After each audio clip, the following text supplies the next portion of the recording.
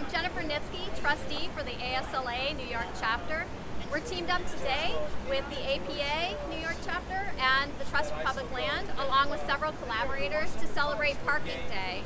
Parking Day is a great way to demonstrate the power of green space in our communities and how it brings people together. This is the perfect example of this event of how a lot of people can come together, collaborate, and make a really vibrant, active green space for the community. We have a 100 foot long parking space today. It's the largest in New York City. We've had a lot of people stop by today, um, engage with us, and learn a little bit more about uh, green space.